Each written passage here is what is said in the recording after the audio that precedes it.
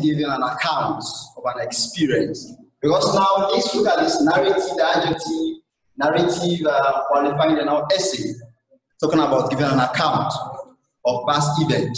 Though we have some books that uh, say that we have present narration, uh, also future narration, like the present narration, like talking about the activities that you do on a specific day or uh, in a month or any time. But in this case, since we're looking at what say the was structure, because normally you have a question like this, you ask you, write uh, a story that ends with this expression. Yes, might ask you write a story that ends with this expression. An expression like this, you say, uh, let's say the day I will never forget. The day I will never forget. You have such a question like this. Let's say, um, write a story um, that ends that ends uh, with the expression. The expression you have say the day, the day,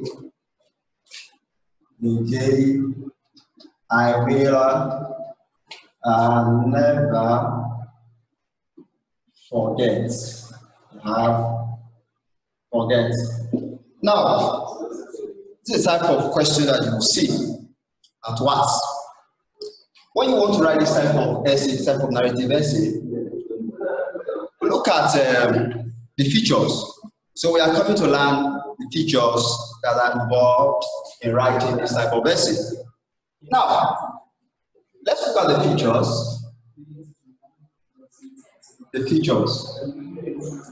Whenever you have this type of question, the first thing that you have to do is you need to write the title. To say it requires for the title. And I'm advising you to be taking jottings, taking jottings. Um, because I, I'm not going to give, for example, like any sort of special note of this, because these are the notes, follow the jottings. And when you have the jottings, I'm sure then you concentrate to pass. Now, the title, we say the title. Now, in the case of the title, some authorities say that uh, you may give it any title when you're writing a story. You may, you may give it any title. That's what some authorities say. Um, others say that if you have this type of question, that your title, you know, should be got from what? From the question given to you. That is, this that is given to you the day I will never forget. That is, that, that is what is to be what is uh, your title. Now, if you're writing this title, so let me just indicate it here and say, uh, let's say got from the question. Say got from the question. Got from the question. Now, when you're writing this, this title, if you're writing this title, there are two ways of writing the title of any narrative essay. You may choose to write a title in block letters. Now, in block letters, let's use this one uh, as an example. Um, block letters. When I say block letter, that is each individual word should be written in a capital letter. That's what I mean, block letters. Now, we write writing, we have uh, D, capital T, capital H, capital E. The day, the day I uh, will never will have forget. Please put a full stop here. Yes. Now, this is the first, uh, what is it, form you may use to write a title everything written in capital letters. Now, normally, uh, many books, many teachers, uh, people will say that when you write in block letters, you're not on the line. Well, it's not what it says. Not, it's not what it says. I have what it says. fast food that you're not on the line when you write in block letters. But at this level, since you're about, uh, uh, you will be taking the words, I advise when you write in block letters, don't on the line. But if you write in block letters, if you want to go on the line, Yes, in fact, All titles of essays, whether written in block letters or small letters, they are to underline. But for the word structure, for the word structure, I advise you when writing in block letters, don't underline. But that is a common, what is a uh, idea, you know. So this is a, this is a, this is the first way to write a title. The second one is to what is it to, to write your title in small letters. In this case, um, we have some exceptions. Now, in the case of determinants, because determinants, we have uh, A, M, and D. When they start the title, you have to write them in block letters. And what I mean is the first word, you have to write it in block letters. The first, the head word, the first word, you have to write it in block letters. But if, they occur in the middle of the title, take a small letter. You've chosen to, to use a small letter form. But uh, the head of nouns, uh, pronouns, the first word of every pronoun, verbs, adverbs, adjectives, you have to capitalize the first words. It's small. Uh, this is second form or uh, this we say D. Now you have capital T. This one's small D. They, of course, they, they is a noun. Is that not so? Okay, have D small I, of course, first person personal pronoun, you have I. And will, you have that verbs and also a verb.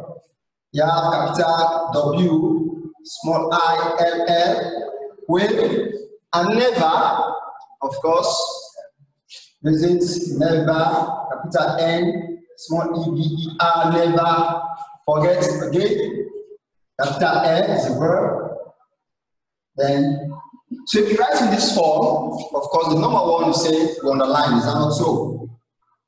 Yes, you write in this form. But you be using of the forms. But for me, what I advise my students to always do is that, please, always write your titles in block letters. That is good because, you know, no one is perfect.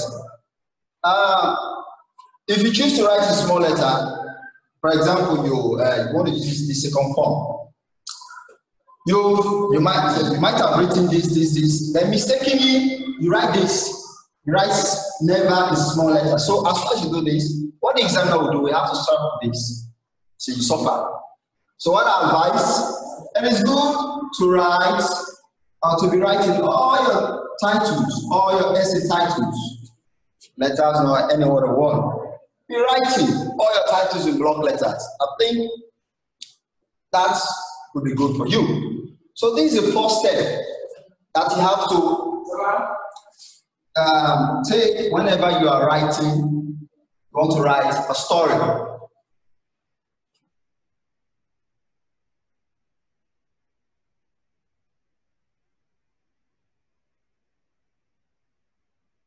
Okay, I'll try to increase the characters. Now, we're looking at the second step. Now, when you're writing a story, it's not like in the case of uh, letters where you have to, you need to have a special introduction, like in the case of uh, what is it, informal, you semi-formal also grade, but formal you don't grade, and then you introduce the purpose of your letter. This is not the case of story writing. For story, um, what I advise my students to do always is that as soon as you've uh, written your title, please start to narrate your story. Don't waste time. You don't forget that at examination you are time bound. Start to narrate your story. Now, when you start to narrate your story, you know you have to take two things into consideration. Um, they fall what they say the, the, the broad head, what they say the narrative technique. You have to decide on the narrative technique. The narrative technique. The narrative technique. Now the narrative technique, you have the first person, the first person, and we have the third person. Okay, still this uh, still struggling because the fonts. Uh, the first person I hope you can see my characters clearly now. Person, first person, and what is it? Third person. Third person. Now, for the first person writing technique, it is always I. And for the third person, there is you have he or she or you have it. Now, you have to decide on the narrative technique. You either use this first person or the third person.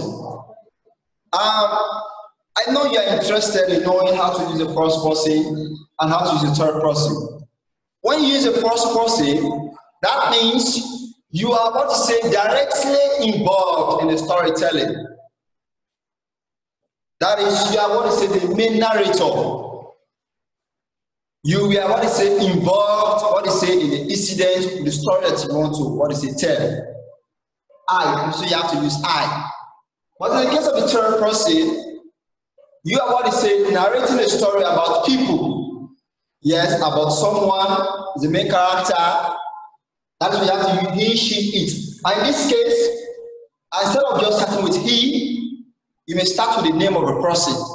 That shows that you've started with the third person. In the case of she, of course, the name of uh, female. Of, for it now, of course, they say you are using a body an animal as your main character, giving that animal a name. Now, situation where you are going to use the first person. Now, say, uh, four years ago, uh, I was in Kenema, right? Good. That means you started this one. I you are what is saying you are part of you are what is saying you are in the story. You are directly involved in the story. I. But if you are using he, she, it, say four years ago, uh, John was in Kenema or Yehu was in Kenema, right?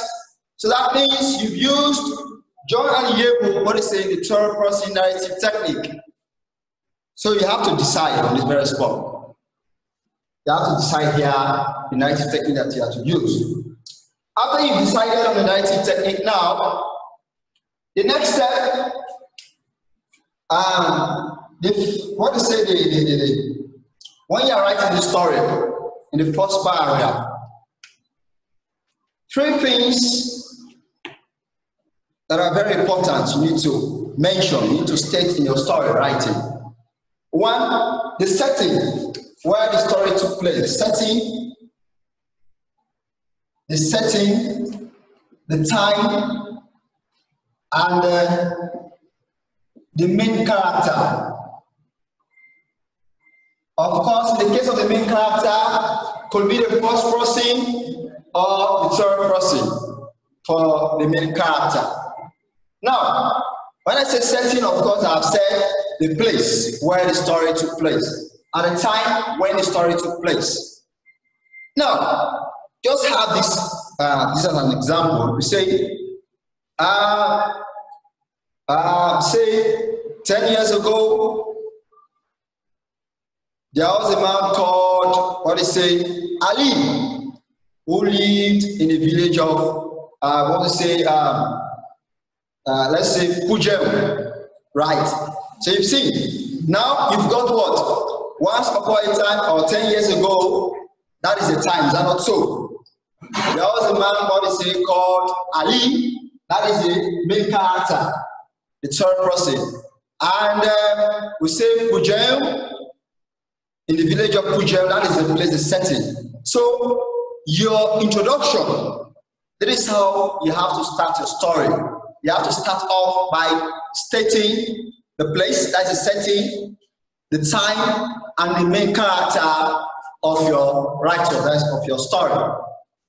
That's what you have to do. After you've done that, I hope you are taking the jottings because we don't have enough space here to write, continue. Um, so we now the other point that you have to take into consideration, consideration is uh, the tense. In fact, the tense in fact, this has been a major problem for many students because many of them cannot control the tense. Most of them don't know the exact what you say or the actual tense to use when writing a story. You see? So that is why most students, what you say, avoid narrative essays. For tense, the tense that you have to use is the past, of course, narration. The past. That's the past tense. You have to use the past tense. For example, you say, I went, of course, I know all of you at this at this level at the senior school, you should know the past tense.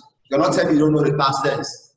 Because I went, he was, I was, there were, etc. So the past. For the past, the past has what they say aspects. Aspects. You should know how to use these aspects. Like the past, you have the simple past. The simple past, of course, uh, my other colleague that will be coming in, I'm very sure that we'll be looking at the uh, grammar area so you know more about this text. So like the text, the past, you have the simple past. Of course, we have the use of the simple past. And the simple past in story writing is normally the dominant aspect of the past tense. That is the one that is uh, the, the aspect that is commonly used. I say went, was, where, where W-E, R-E. That's what I mean, not where. talking about place. So, simple past, yeah, past continuous, past continuous, right? You have past perfect, past perfect, I have past perfect, uh, perfect continuous. Now, let me just uh, run through their uses. Yes, let me just give one uh, use of each. Now, the simple past, of course, it is used to talk about an action that started in the past and was completed. Now, for example, you say, I went to school yesterday. I went to school yesterday. There is past. And the past continuous of course, you have the structure was or where plus ing. Talking about an action that was going on in the past, and then that action was interrupted by another action. For example, you say, I was teaching when my phone rang. Have you seen the, uh, the use that have past perfect? Two actions occurred in the past, but one of the actions happened to occur before the other. For example, you say, I had eaten my food before my brother arrived. So you've seen. Of course, for the past perfect continuous, an action that had been going on in the past. When, uh, before the other action occurred, I think there is something.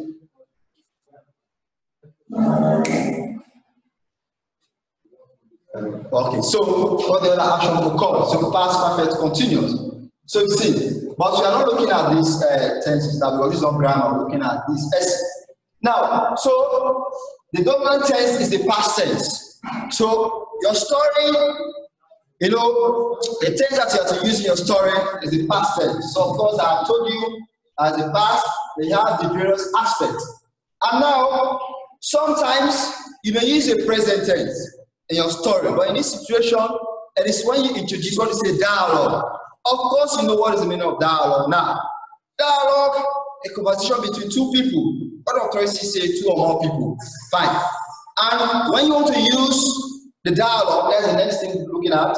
You have to put what you say, the speeches of the characters in quotation marks. Now, so after, so the tense. After the tense, you say, make your characters speak the dialogue. The dialogue. Make them speak. That makes your story lively. Let them talk. And when you're introducing a dialogue, your the speeches of your characters, what they say, should be in quotation marks. For example, you say now you are narrating a story. Let's say uh, the story is about John and Mary, right? Okay. Now in the story, John say, John shouted, Mary, where are you going? Mary, where are you going? So you see, you have, so in this case, this is a conversation. Now, John is saying, John, uh, we have shouted, shouted, quotation marks, that continues here. Say, uh, Mary, say, where, where, where are, now I is present Where are you, are you going? Now, quotation, what is it? Closes. So you see, so the speeches of your characters should be what is it?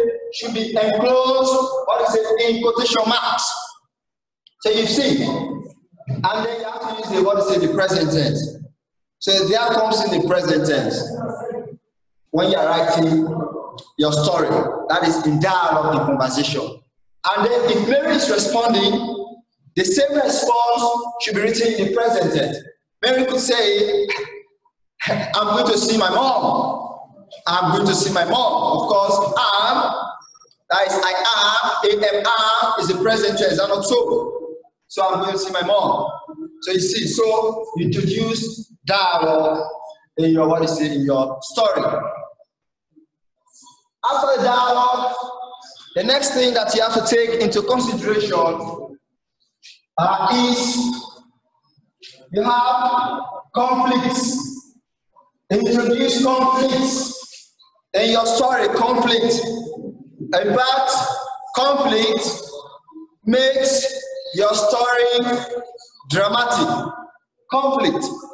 Conflict, introducing conflict in your narration, in your storytelling, story writing, uh, it shows what is it? Maturity, that you know what you are doing. Conflict. Now, conflicts, we have two types of conflicts. We have external and internal conflicts. Now, for external conflicts, there is a struggle between two opposing forces. Normally, it's very easy to introduce external conflicts. Now, now you are writing, you are um, narrating a story about John and Mary. You want to introduce a conflict. You can introduce a conflict wherein Mary took John's money without telling him.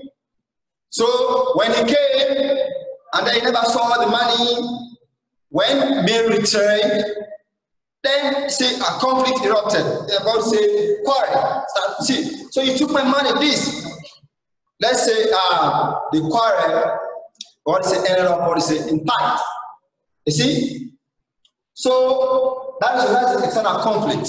There are many ways of what is say um, bringing on what is external conflict in your story writing. In the case of internal conflicts, it is a situation where in the character, especially the main character, uh, is in a state of confusion. The character is confused. For example, let's say uh, uh, a character is a, is a schoolboy, let's say John, using John as the main character.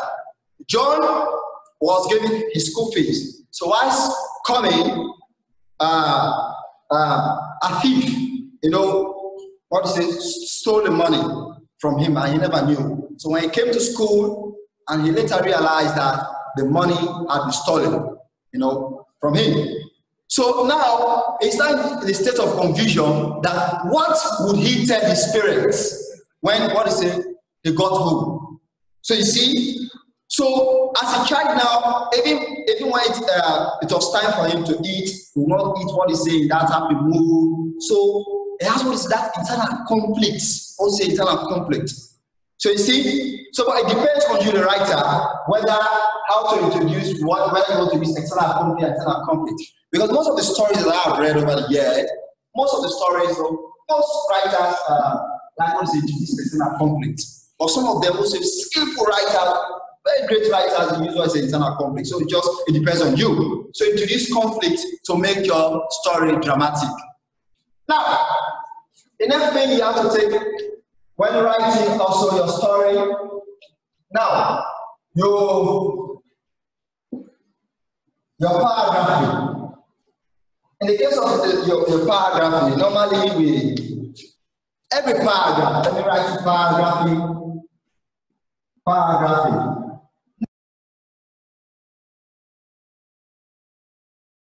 Should start, what is it, with an episode. Normally, like when writing this type of story, we advise at least have six paragraphs, six paragraphs, six paragraphs, or sometimes we may have five. But don't write below five. Don't have what is it below five. Five, six, seven onwards. Good. So paragraphing. So you take paragraphing into consideration. And then you also have to say um, concluding concluding your story. Concluding your story. Now concluding your story. Now normally you have this type of question. Say write a story that ends with the expression you will never forget so after you've narrated now you want to conclude your story you have to conclude your story with this expression given to you. You have to fashion it in a way that what is it fits this what is a question given to that. You have to, for example, let's just say uh, you explain John this, this, this later he said, I will never forget that day.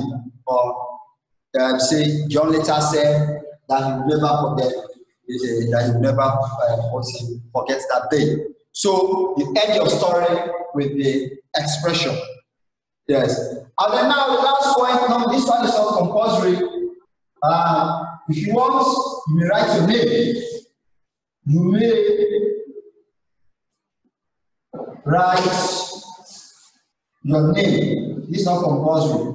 But if you want, you write your name, your full name, precisely. So do that. So this is all about writing what is a uh, a narrative essay. I'm pretty sure that you know you've learned something from narrative essay. Yeah. So this, of course, you've seen. So in summary, we have what is say features. Write the title that is not from the question precisely. Of course, this demonstration either block form or in small letter form. Then you have what is say narrative technique. You decide whether you use the first person or the third person. After that, now you start to narrate your story. That is, when writing your story, you have to take into consideration the setting, the time, and the main character. Use the tense, you have the dialogue, to use the dialogue, complete paragraphing, then you conclude your story. So that is all. So now I'm going to give you an assignment. So the assignment is uh, quickly write a story that ends uh, with the expression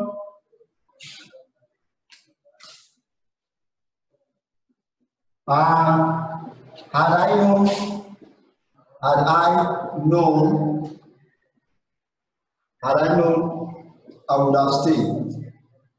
I would have stayed. Okay, so all the best. We stop here for today. Then we'll meet any other time. Thank you.